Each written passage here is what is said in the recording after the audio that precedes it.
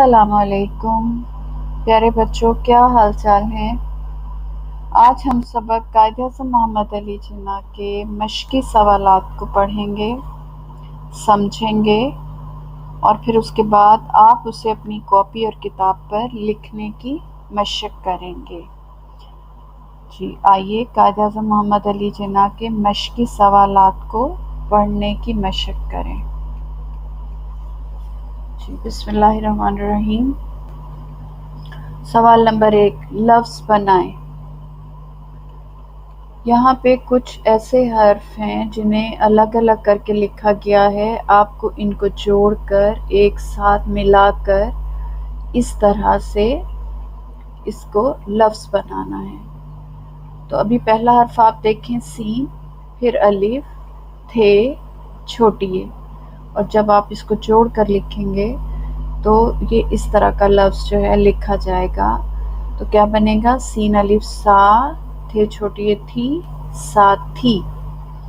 Scene को आप अलिफ के साथ जोड़ेंगे, थे को ये के साथ। तो ये क्या बन जाएगा? सीन अलिफ सा, थे छोटी ये थी। उसके बाद है मीम, हे नून और ते। मीम है मे नून ते नत, मेहनत। ठीक है? मीम को आधा किया, उसके बाद हे को आधा करेंगे, इसकी गोलाई को ख़त्म करते हुए और फिर नून को आधा। और जैसे कि मैंने आपको बताया कि आखिरी हर्फ जो है, वो हमेशा पूरा लिखते हैं। ये इसकी हम अक्सर जूम क्लास में भी प्रैक्टिस करते हैं। तो ये आखिरी हर्फ ते है तो ये पूरे का पूरा आप उतारेंगे। तो ये क्या बन जाएगा? मेहनत। मीम है मे, नून ते, नत। मेहनत। उसके बाद आ जाइए शीन, खे और स्वाद। तो ये क्या बन जाएगा? शख्स। ठीक है? शीन, खे और स्वाद शख्स। इसी तरह पहले दो हरूफ को आधा करना है और आखिरी हर्फ पूरा लिखेंगे। तो ये इस तरह से शीन, खे और स्वाद शख्स।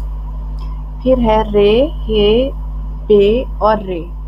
तो ये बन जाएगा रे रह बेरे पर रह बर रे लिखा, उसके बाद ये हाथी वाली ये, फिर बे और फिर आखिर में रे पूरा रह पर।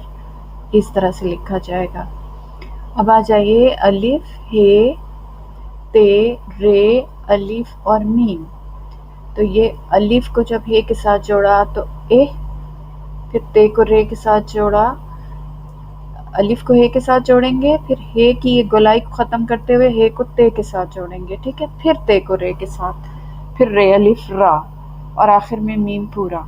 तो ये बन जाएगा एहतराम। अलिफ है ए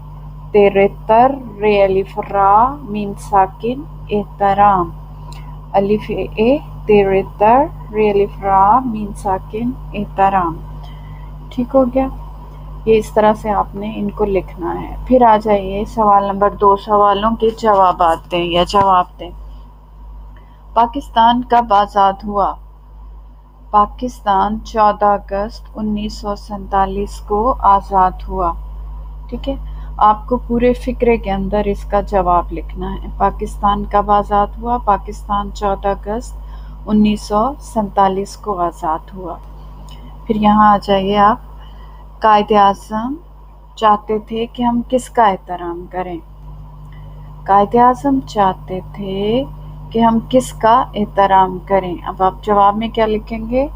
फिर बिल्कुल इस तरह से कायद अजम चाहते थे कि हम अब ये लफ्ज़ काफ सिन किस है ना, इसको काट के जवाब में इसकी जगह लिखना है, अपने हम वतनों का एहतराम करें।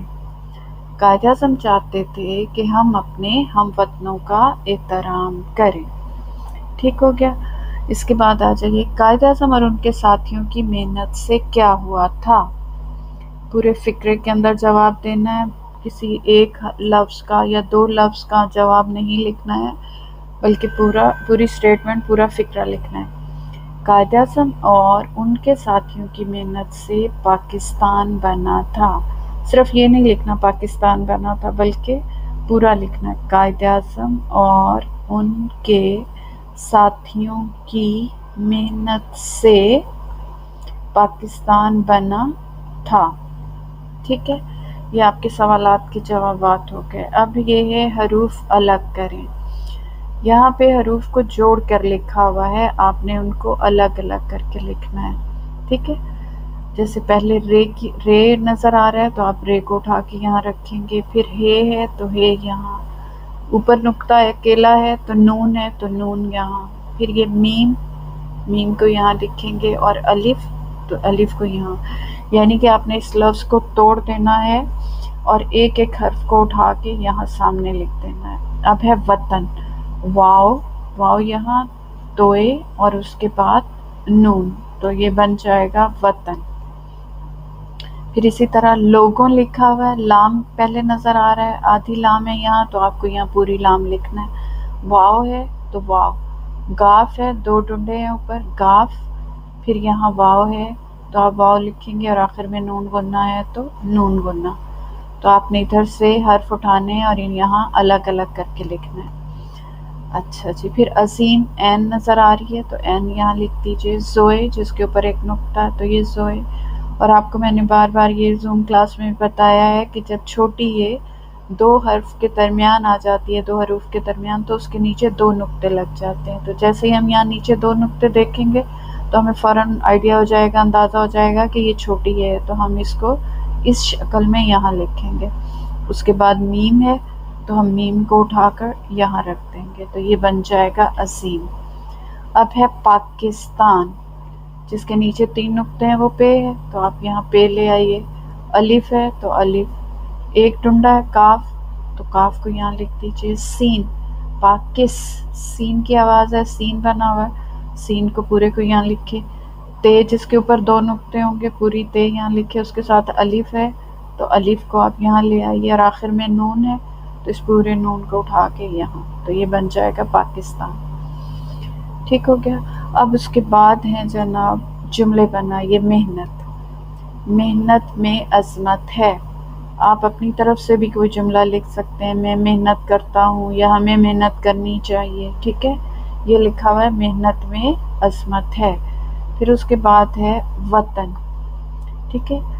मेरा वतन पाकिस्तान है, या यहाँ ये लिखा हुआ पाकिस्तान मेरा वतन है।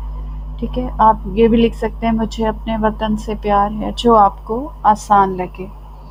मेरे वतन का नाम पाकिस्तान है, ये भी लिख सकते हैं। तो यहाँ क्या लिखा हुआ है? पाकिस्तान मेरा वतन है। उसके बाद है एहतराम। तो यहाँ लिखा हुआ है, सबका एहतराम करना चाहिए। तो आप जो चाहें, आप अपनी तरफ़ से भी इसको जुमले में इस्तेमाल कर सकते हैं कि हमें सबका एहतराम करना चाहिए। ये भी लिख सकते हैं। ठीक हो गया? तो ये कुछ हैं जुमले। अच्छा उसके बाद मैं आपको एक शीट और भेजूँगी जो है कि लिखने की मशक। तो यहाँ पे जवाब नहीं लिखे हुए। ऊपर हम जवाब जवाब जो हैं जवाब को पढ़ भी चुके हैं। ठीक है? और थोड़ा आपको उसकी समझ भी आ चुकी है तो आप यहाँ पर उसको लिखने की प्रैक्टिस करेंगे, लिखने की मशक करेंगे। पाकिस्तान कब आज़ाद हुआ? पाकिस्तान चौदह अगस्त उन्नीस सौ सैंतालीस को आज़ाद हुआ। कायद अजम चाहते थे कि हम किसका एहतराम करें? कायद अजम चाहते थे कि हम अपने हम वतनों का एहतराम करें। या ये भी लिख सकते हैं, हम अपने वतन में रहने वाले सब लोगों का एहतराम करें, जो आपको आसान लगे। कायद अजम और उनके साथियों की मेहनत से क्या हुआ था? कायद अजम और उनके साथियों की मेहनत से पाकिस्तान आज़ाद हुआ था या पाकिस्तान बना था? तो ये आप यहाँ पे इनके जवाब लिखेंगे और साथ ही ये जुमले बनाएँ। इनके लिए भी आगे खाली जगह छोड़ दी गई है। आप अपनी, उससे जो आप चाहें आप जुमला लिख सकते हैं, जो आपको आसान लगे। तो जैसे मेहनत है तो हमें हमें मेहनत करनी चाहिए या मैं मेहनत करता हूँ या करती हूँ वतन। मेरा वतन पाकिस्तान है एहतराम हमें सबका एहतराम करना चाहिए। तो बेटा ये सब थे कायद अजम मोहम्मद अली जना के मशक़ी सवाल और ये वर्कशीट भी आपके साथ है और ये आपको होमवर्क में मिल जाएगी और इस पर भी आपको लिखने की बार बार मशक करनी है। तो उम्मीद है कि आपको कायद अजम मोहम्मद अली जना के मशक़ी सवाल समझ आ गए होंगे और इस वीडियो को आप बार बार देखें और इसके साथ साथ आप इसको पढ़ें भी, कि जो लिखा हुआ वीडियो को सुने, देखें और साथ साथ आप इनको देखकर पढ़ें भी। तो जो है, इस तरह से आपके लिए ये लिखना आसान हो जाएगा। तो फिर अगली वीडियो तक के लिए खुदा हाफिज़। टेक केयर अल्लाह हाफिज़।